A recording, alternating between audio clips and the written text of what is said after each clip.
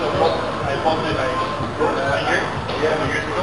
Now whatever it is, it's better. All right.